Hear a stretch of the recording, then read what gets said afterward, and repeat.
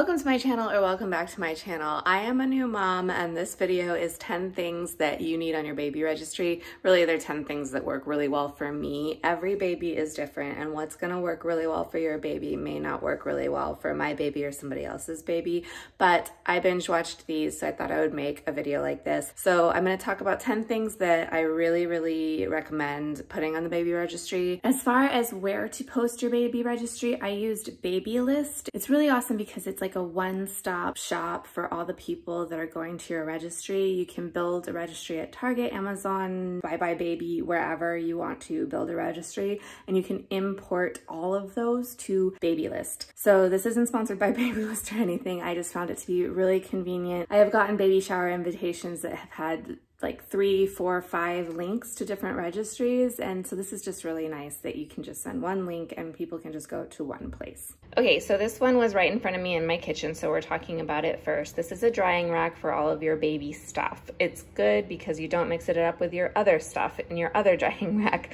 So it has obviously these plastic blades of grass-like things that aerate from under, so you don't have to worry about things not drying when you put them down flat like that. You can also add to it this little accessory. It's a flower and it just goes in there like that, and you can pile little things on top of it. You can get as many of those little flowers as you want. Oh, what is this? Excuse me. I don't know what that is on my counter. So I do recommend this. When I got it, I kind of had it in the cupboard and I thought I wasn't really going to use it, but I got it out and it's been great since I've been pumping and using a Haakaa and all of that. So the next thing, it's actually here. This is a Haakaa. It has a lot of water spots on it. Actually, I should fix that. But anyway, I was using a Medela pump and I put this aside also, not thinking I would use use it so much but I stumbled on a couple of videos on how to use this. I will put some in the description box below. If you'd like me to do one, let me know. If you'd like me to do a breast milk breastfeeding video let me know in the comments below but this has been amazing you just suction this onto the boob you're not breastfeeding from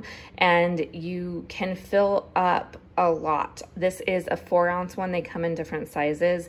I have filled it all the way up to the top before. So this is also a recommendation. It is amazing. Okay, so you can see I just nursed him and I got two ounces. And then I have another thing while I'm here. This pacifier. So this is the one that I find to be the best, mostly because it's lightweight. I'm really lucky my baby takes most nipples. He's really not fussy. So the nipple is one of those flat shaped nipples, which is supposedly really good for newborns especially. But what's really great about this is it's really, really lightweight, so it doesn't fall out of his mouth. There are others that he likes just the same, like this one, but this one's really heavy. The Not really heavy, but the plastic part's pretty heavy, so it just falls out of his mouth as he's lying on his side trying to fall asleep. So that is three things right here that I recommend for your registry. And while we're on the subject of pacifiers, this is one of the things that really lives up to the hype. This is the Wubbanub. This is a nipple that he takes. Like I mentioned, he is not fussy about what the nipple is shaped like. I'm very, very lucky. And then I got the lion. There are all kinds of different stuffed animal attachments that you can get. I have seen so many people recommend this, but no one really described why it's so great. I didn't really figure it out until I saw my baby using it. What's wonderful is that he can be laying here, say his head's here,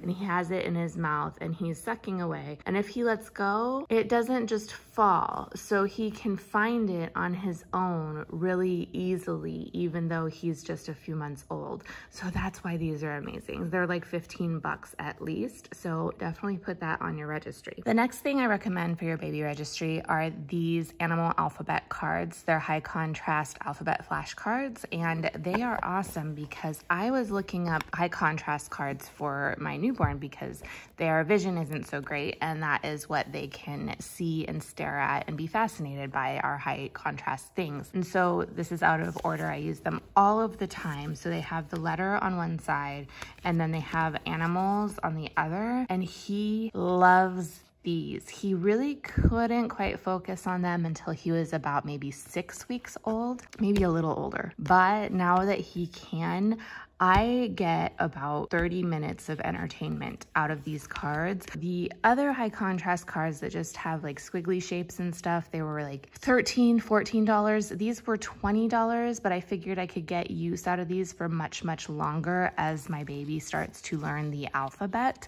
So I invested the extra seven or eight bucks in these and they're really, really sturdy, really well made. They're going to last as long as I need them to. So these are awesome. I highly recommend these. All the links will be in the description box below. Okay, so the next thing that I recommend is a bouncy chair like this. They have really, really expensive ones. This one was a gift from somebody. It wasn't on my registry. I didn't put it there. So I'm not sure how much this costs. This looks similar to the ones that they have available at Target. So I'll find some similar ones. It is, let's see, Ingenuity and it has these buttons and you can turn it on and it bounces and it also has music and it also mimics a heartbeat. So this has been really awesome. He didn't like it at first, but now that he's a little older and he fits in the seat better, he loves it. Well, he doesn't love it, but he, it keeps him quiet long enough for my husband and I to eat dinner together. That hadn't happened in a while reliably before that. So at first, maybe up until about two months, it didn't fit him comfortably in the past few weeks weeks, it has been working out really well. So next we have a play gym. Once your baby can see a little better, it's really, really helpful to have multiple places to put them down so you can go and do stuff obviously with them in your line of sight so that you're supervising them. This is really great because it's appropriately called a play gym. They can lay here, they can practice lifting their legs and rolling from side to side until they can roll over and they can reach up and practice reaching and grabbing for things with these things hanging here. Before I had my baby, I had no idea why this was a good thing. So that's why my son can actually lay here for a good 20 minutes and be entertained. We have obviously his little tactile toys and things like that. It's great and they're like 60 or 70 dollars so you can throw it on your registry but I definitely definitely recommend having one of these. Let's talk strollers. This is obviously a different day. This is weeks later. I am finally getting around to finishing up this video. I researched far and wide for the perfect stroller that was affordable, five stars, no complaints at all, perfect safety rating, and it doesn't exist. I spent hours researching. So let me save you some time. Just look up something that's good and that you feel good about. I chose something that's four and a half stars, good enough safety rating, and it's a Graco, which is a well-known, well-loved brand. They've been around a long time, so I figured it was reliable enough. So I'm gonna get into showing you mine. Obviously everything's linked below, so you can go and you can dig a little further. If you want a more in-depth review of my car seat and stroller system, then I can do a separate video, but I'm just gonna go over it very quickly, but I will show you which one I bought. Okay, so this is the Graco Snug Ride 35 infant car seat. It is affordable. You can get it in packages with certain strollers. It clicks into the car seat base. You can take it out and click it into a stroller. So this is the simple stroller that you can get. This was like $70. I have another one that it clicks into as well, but it is so simple. You just put it here and it clicks in and it's in. You heard that click and that's it's just so easy. So you get it from the car to your stroller so simply. I will show you the other stroller we have as well. Okay, so this is the jogger stroller. I'm in my laundry room right now, so it's a little cramped. So I'm getting as far back as I can. Ignore our recycling and all of that right there. I really, really like this. It The car seat also clicks in here. So you can put your baby in there and it's nice because it's all terrain. So it has like bicycle wheels. The only complaint I have is that we have to inflate those fairly regularly. So my husband does that. and what's very cool about this one is it will work when he is a toddler. So I do like this and we have longevity out of this one. So these are super affordable. Check them out in the links below. I am very happy with them and I feel like he is safe in these. The next thing you really, really need is one of these baby monitors. This one's absolutely fine. We put it on the registry and one of my friends super generous and got it for us. I think it was about $110. This is so crucial. There are apps that you can get if you have two phones. You can put it on your phone and then you put one phone in the room with the baby and then you have one phone on you. It works pretty decently. It doesn't have video, it has sound, but this has just been awesome, especially in the early days for peace of mind. I would look at it and I would focus really hard to see his little chest or stomach rising and falling with every breath and made me feel a lot better as a new mom. So definitely, definitely need to get one of these. The thing about this one that was kind of interesting, so the camera is mounted on his crib and we got it and they kind of bribed me for a review. It didn't come with the camera mount initially, but there was a card in the package that said, email us for a free gift. So I emailed them and then they responded saying, here's your free gift. And it was a camera mount. And then they said, please write us a review. So it was almost a way to try to get a review out of me. It's fine. I ended up getting the camera mount and I wrote them a review. And this works really, really well. I like this one, I do. And then here is the camera part mounted onto his crib. So you can see it just lives there. This is a portable sound machine. It is awesome. The first time I put it on when he was a few days old, he quieted down almost immediately. It is so soothing for him. We just use this one. Some people say you should get the portable one and you can get a non-portable one for the nursery, but this one's been just fine. When we're not elsewhere, we keep it plugged in in his room and it works just great. So I don't think you need both, but some people say you should get both. So if you want to get both, go ahead and get both. And right next to it is a humidifier. If you live where it is dry, I do recommend getting a humidifier. My baby has surprisingly dry skin. It's not super, super dry, but it does help. It also helps with his mucus, his boogers in his nose to keep them looser so that when we need to aspirate them, they come out a little bit more easily. And then an air purifier. We live in fire country, I guess you could call it, California. It has been so helpful to have this during the fire season. This year, our fire seasons are getting progressively worse and it just brings me a lot of peace of mind to have this in his bedroom. Sorry for the lighting, his room's a little bit dark, I guess. This thing, I don't know what to call it. This thing for your bathtub for when you bathe your child and you put your child in it and it is great. This will work until he's probably about six